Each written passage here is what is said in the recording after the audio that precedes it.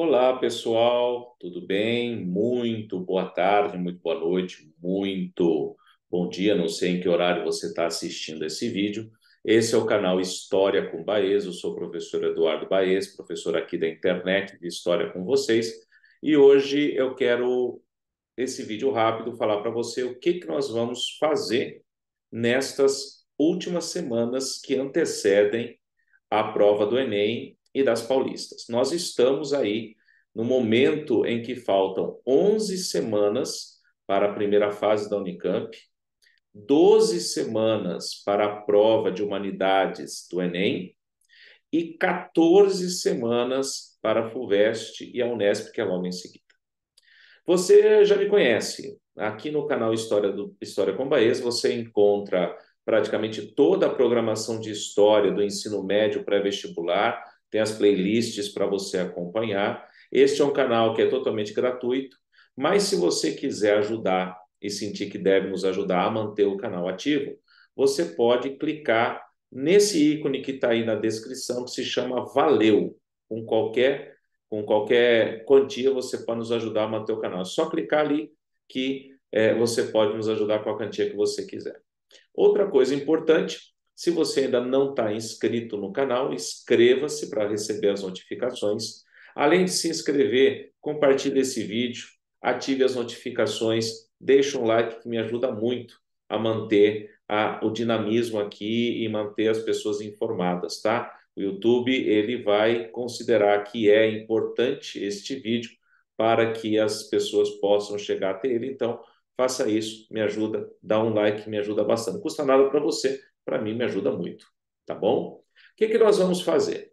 Nós vamos fazer o seguinte: a partir do dia 22 de agosto, semana que vem, hoje é dia 18, este vídeo está sendo gravado no dia 18, é, nós vamos iniciar a revisão específica aqui no YouTube. Para isso, você vai precisar se inscrever para poder receber materiais específicos. Na descrição deste vídeo, você tem o link para acessar o formulário de inscrição. Se inscreva para que eu possa saber quais são as suas necessidades e como atender melhor você nas suas revisões, tá bom? Além disso, eh, você vai, ao se inscrever, ter acesso a um PDF com um grande resumo, tópicos especiais dos principais assuntos aí dos vestibulares que eu preparei com muito carinho para você, tá bom? Então clica lá para você poder se inscrever se e ao se inscrever pegue o seu resumo. A partir do dia 22, toda terça-feira, sempre às terças-feiras, às 19 horas e 19 minutos, vai entrar no ar um vídeo ao vivo em alguns momentos, em outro talvez seja gravado, depende da demanda, depende da situação que eu estiver vivendo mas você vai ter um vídeo de revisão específica para os vestibulares, para a Unesp, a Unicamp, a FUVEST e o Enem que está chegando aí. Deixa eu mostrar uma coisa para você, como é que vai ser esse negócio. Olha só aqui o que eu tenho para você aqui. Veja só. Nós temos aqui este gráfico, estes gráficos que mostram para você como foi a distribuição da prova do Enem nos últimos cinco anos. Veja só, mais em história geral caiu mais mundo moderno. Vamos ver a história do Brasil? Aliás, vamos ver no geral o que, que aconteceu? Veja só, nos últimos cinco anos, você tem mais questões de história do Brasil do que de história geral, bem mais. E aí tem uma subdivisão que a gente chama de história temática, que mistura, não é que é uma nova frente, uma nova situação, não pegam as questões de Brasil em geral e trazem para temas específicos. Em América, a mesma coisa. Então, no caso de história do Brasil, que é o que mais cai, o que é que mais aparece? O que mais aparece é o sistema colonial. Né? Sistema colonial era Vargas, aparece bastante, e segundo o reinado República Oligárquica. Entenda que este aqui é um bloco só. Começa lá no segundo reinado, República Oligárquica era Vargas. Então, 9, 8, 9, 9 e 8, eu não sou bom de matemática, 9 e 8, 17, 17, 24. Se você somar esse bloco aqui, cai mais que o sistema colonial.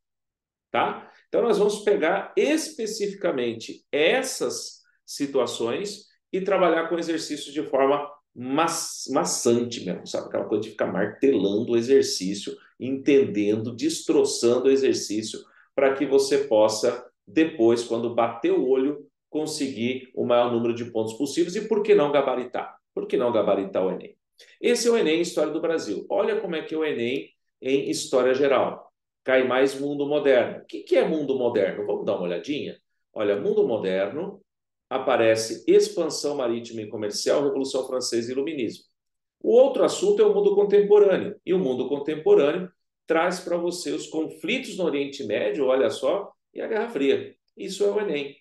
A gente vai olhar para a FUVEST agora. Vamos procurar a FUVEST? Olha que eu tenho tudo aqui, hein? Na FUVEST, o mundo contemporâneo é nazifascismo. Aliás, dá uma olhadinha só em história geral aqui. Vamos ver como é que, que está a divisão. Olha, é mundo moderno que cai mais que mundo contemporâneo. Então, vamos ver o mundo moderno. O que, que aparece mais? Expansão marítima e comercial também na FUVEST. Então, é um assunto que a gente precisa olhar com muito cuidado, porque tem muita preferência.